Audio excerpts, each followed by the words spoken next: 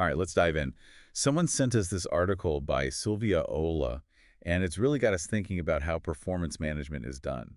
Yeah, she worked with this construction and design company, like 650 people, Uh-huh. and they basically blew up their old system and rebuilt it from scratch. Complete overhaul. That's a big undertaking. It is. But what's even more interesting is her argument against fairness. Like, she actually says being fair can be a problem.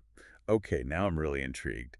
How can fairness be a bad thing? Well, it's more about how we traditionally think about fairness in these systems. Yeah. You know, treating everyone equally. Well, like everyone gets the same bonus, same expectations, all that. Exactly. But she makes a good point that this can actually hold people back, especially those who are, you know, really excelling. I see. So you're saying it can disincentivize people from going above and beyond. Yeah, and it doesn't really acknowledge the reality that people contribute in different ways. Some folks are just naturally going to be higher performers. Hmm, that makes sense. So how did Sylvia approach this whole performance management redesign? Where did they even begin with a project like that? They literally started from scratch, got rid of all the old baggage, and built something totally new. And that's rare, right? Mo most companies just try to tweak things here and there, patch things up. Yeah, and there's actually research on that. Lucy Adams, a big name in the HR world. Oh yeah, I've heard of her. She found that layering new practices on top of a broken system just doesn't work. The new stuff never really sticks. Makes sense. You need a solid foundation to build on. Kind of like, I don't know, trying to build a house on a swamp. Exactly. You've got to drain the swamp first. Okay, so Sylvia and this company, they drain the swamp. What they do next? One of the first things they focused on was aligning goals. It's pretty basic, right? It is, but you'd be amazed how many companies struggle with this. Yeah, I, I guess it's easy to get caught up in day-to-day tasks and lose sight of the big picture. Exactly. And when that happens, you end up with people pulling in different directions. No one's on the same page. So how do you fix that? Like, how do they make sure everyone was rowing in the same direction, so to speak? They made sure every single employee's goals connected directly back to the company's larger objectives. No more than five key performance indicators and objectives for each person. Okay, so they had this clear line of sight from individual goals all the way up to the company's strategic objectives. I like it. Right. And to keep things simple, they divided those goals into two main categories business objectives and job related objectives. So business objectives, those are the ones tied to the bottom line, right? Yeah. Revenue, profit, all that. Yep, exactly. Think sales targets, project deadlines, things like that. Hard numbers. And what about those job-related objectives? What do those look like? Those are still crucial, but they may not have that direct link to revenue. Like in the article, she mentions that one of the HR department's goals was implementing this new performance management system itself by the end of 2024. Makes sense. Big project, huge impact, but not directly driving sales. Mm. So they have this framework for goals, but then they let the employees set their own goals within that framework, of course. Yep, they did. And that's a huge shift from how a lot of companies operate. You know, the manager hands down a list of goals. Right. Here's what you need to achieve this year. Make it happen. But Sylvia's approach is more collaborative. Definitely. There's a lot of research showing that people are much more motivated and engaged when they've had a hand in setting their own goals. It's like if you've had input, you feel more ownership over those goals. You're not just doing what you're told. Exactly. And it taps into that intrinsic motivation. People naturally want to do a good job when they feel like they have a say in what they're working towards. That makes sense. Plus, a little healthy competition never hurts, right? Oh, absolutely. It's human nature. When you see your colleagues setting ambitious goals, it pushes you to up your game too. And that's a good thing for everyone involved. Okay, I can already see how this is so different from those traditional performance management systems that try to be fair by treating everyone the same. Right, the whole everyone gets a trophy approach. But let's be real, not everyone deserves a trophy. And trying to pretend that everyone is performing at the same level can actually be detrimental to those who are truly excelling. It's like holding back your star players. So how do they address that? How do they make sure those high performers were recognized and rewarded? That's where things get really interesting because Sylvia's philosophy is you shouldn't be afraid to reward high performers differently. And this company really embraced that idea. Okay, tell me more. How did they actually do that? They completely ditched their old annual bonus structure. You know, the kind where everyone gets a pretty standard percentage increase? Yeah, I've seen that. It can feel kind of arbitrary, like it doesn't really matter how well you do. Exactly. So instead, they implemented a system of quarterly variable compensation, and it's tailored to each department. Oh, so it's not just a blanket approach. They take into account the specific goals and metrics of each team. Yep. So for the sales team, it might be heavily weighted towards hitting those sales targets. While for the operations team, it might be more about delivering projects on time and under budget. Makes sense. Keep the rewards aligned with the work. But it sounds like there's even more to it than that, right? There is. They actually go a step further and specifically reward the top 10% of performers separately. Wow, they're not messing around. No pretending that everyone is the same here. Not at all. And I think that sends a powerful message to your top performers. It shows them that you see them, you value their contributions, and you're willing to invest in their continued success. It's about celebrating those who are going above and beyond and fostering a culture where high performance is not just expected, but actively rewarded. Absolutely. And remember, this isn't just about giving out plaques or gift cards. We're talking about real, tangible rewards, increased bonuses, stock options, maybe even special perks. It shows a real commitment to recognizing and retaining top talent. Which, let's face it, is what drives any organization forward. It is.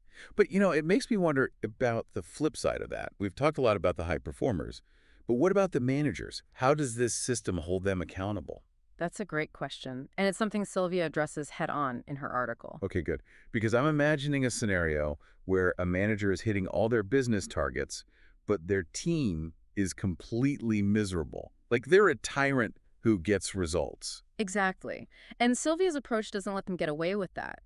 In this system, they measure leadership performance based on two things business outcomes and employee experience. Ah, so it's not enough to just make money. You also have to make sure your people are happy. Precisely. It's about finding that balance between achieving those business goals and creating a positive, supportive work environment. I like that. Because ultimately, they're both connected. If your team is constantly stressed and unhappy, it's going to impact their performance eventually. Mm. So what happens if a manager is hitting their business targets, but their team is giving them terrible feedback? Are there actual consequences? Oh, there are. And that's where things get really interesting. So we're talking about those managers who might be great at hitting those business targets, but terrible at, you know, people stuff. Yeah, those bosses everyone dreads.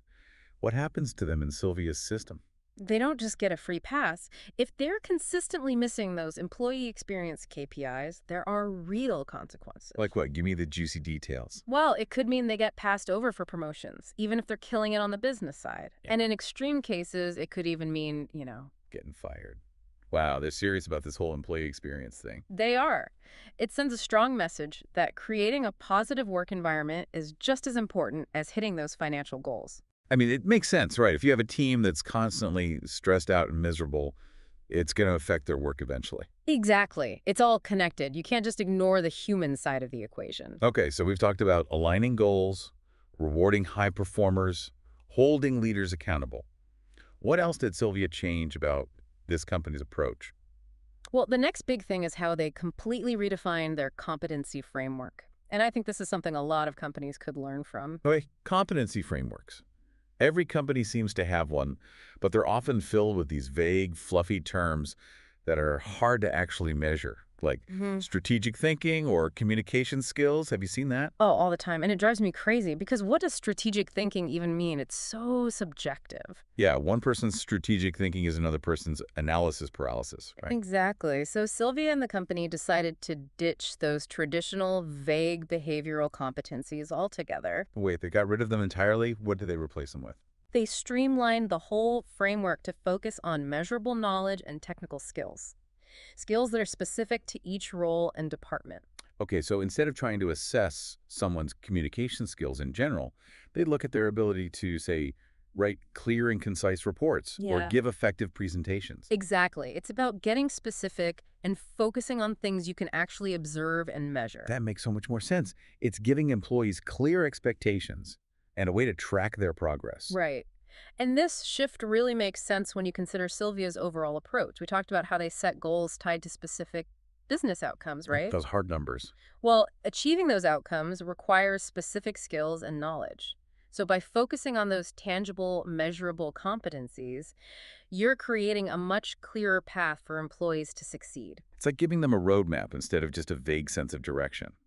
They know exactly what skills they need to develop to excel in their roles. You got it. But now you might be wondering, What about those soft skills everyone's always talking about? Do they just throw those out the window? Yeah, the values, the behaviors, all that interpersonal stuff, surely those still matter. Of course they do. But instead of having a separate list of behavioral competencies, Sylvia helped them find a clever way to incorporate those elements. They actually use the company's values as a guide for desired behaviors. So if one of their values is collaboration, they use that as a lens through which they evaluate behavior. Exactly. And by tying those values to the performance management system, they're reinforcing their importance and making it clear that they're not just empty words on a poster, they're fundamental to how they operate. I like that. It's about walking the walk, not just talking the talk. So we've covered a lot of ground here. From ditching the old fairness playbook to aligning goals, rewarding high performers, holding leaders accountable, and even rethinking competency frameworks. This is a pretty comprehensive overhaul. What stands out to you the most about Sylvia's approach? I think what's most striking is this emphasis on clarity and alignment, this laser focus on measurable results. They stripped away all the fluff and got down to what really matters, Uh, helping employees develop the skills they need and rewarding them for their contributions. It's a system designed to be effective and motivating, which is a pretty rare combination. It is, and it challenges that traditional one-size-fits-all mentality, doesn't it? It does. It acknowledges that people are different, they contribute in different ways, and they should be recognized and rewarded accordingly. And that brings us to the final piece of Sylvia's approach, which might be the most thought-provoking of all. So we're talking about how Sylvia's approach throws out this idea of treating everyone equally in the name of fairness. Yeah, and, and th- that leads to this concept of equity, right, which she's a big advocate for. Okay, equity. I hear that word a lot. What does it actually mean in this context? So equality is treating everyone the same, giving everyone the same opportunities and resources, but equity is about giving people what they need to succeed, recognizing that those needs might be different for different people. Okay, so it's not about everyone getting the same thing. It's about everyone getting what they need to be successful. Exactly. And you see that reflected in every aspect of the performance management system Sylvia helped create. Individualized goals, customized rewards, development plans. It's all about supporting each person in a way that helps them reach their full potential. And that actually makes the whole rewarding high performers differently thing make a lot more sense. Right. It's not about being unfair to those who aren't at the very top. It's about acknowledging that everyone brings different strengths and contributes in different ways. And that those high achievers can actually inspire others to step up their game. exactly. It sets a high bar, but it also acknowledges that not everyone will reach that same level, and that's okay. This has been such a fascinating deep dive. I mean, we've really covered it all. Rethinking fairness, aligning goals, embracing individualization, redefining competency frameworks. It's a pretty bold model. It challenges a lot of the traditional thinking about performance management. It does. And it's incredibly refreshing. So for our listener out there who shared Sylvia's article with us, what would you say is the biggest takeaway? The one thing they should really be thinking about as they head back to their own workplaces.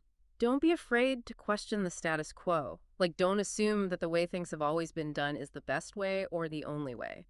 Sylvia's work with this company shows us that it is possible to create a system that's both effective and motivating, fair and equitable, one that truly supports both individual growth and company success. And if our listener wants to explore these ideas further, maybe get some help putting them into practice. Reach out to the Strengths Company. We love helping organizations build performance management systems that work for everyone. Well, well, this has been another great deep dive. Thanks for joining us. And until next time, keep those brains engaged and keep challenging those assumptions.